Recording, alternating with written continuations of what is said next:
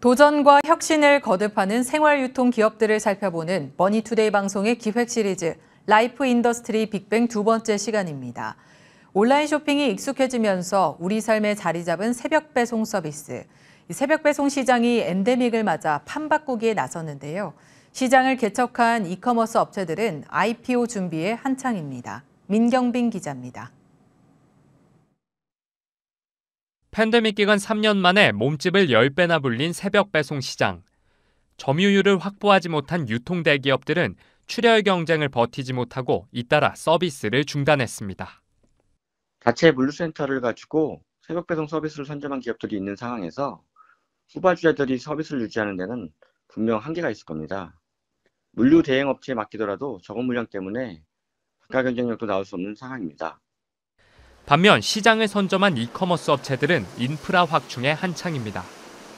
마켓컬리가 다음 달 오픈마켓 서비스 런칭을 예고한 데 이어 쓱닷컴은 지마켓의 새벽 배송 전용관 스마일프레쉬를 열었습니다. 오아시스 마켓은 경기도 의왕에 기존 물류센터 10배 규모의 풀필먼트 센터를 구축했습니다.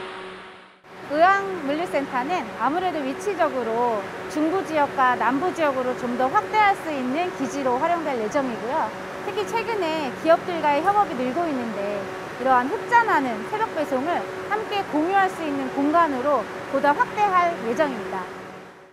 새벽 배송 업체들의 다음 관문은 대규모 자금 조달이 가능한 기업 공개 IPO입니다. 마켓컬리가 적자를 낸다는 부담을 딛고 작년 매출액 1조 5천억 원을 앞세워 IPO의 마지막 관문을 넘기 직전인 것으로 알려진 가운데 흑자 기조를 유지하고 있는 오아시스 마켓 역시 조만간 IPO 절차를 밟을 것으로 알려졌습니다. 연초 상장을 추진한 쓱닷컴의 경우 시기를 늦추고 시장 상황을 보며 상장을 저울질하고 있습니다. 이렇게 한숨 돌릴 여유도 없는 상황에서 새로운 경쟁자들이 등장했는데 하나같이 거물급입니다. 오프라인 유통망을 확보한 이랜드 리테일과 코스트코가 새벽 배송을 시작했고 네이버도 CJ 대한통운과 손잡고 하반기 새벽 배송 서비스를 시작한다는 계획입니다.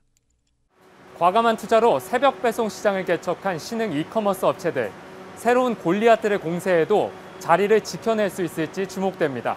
머니투데이 방송 민경빈입니다.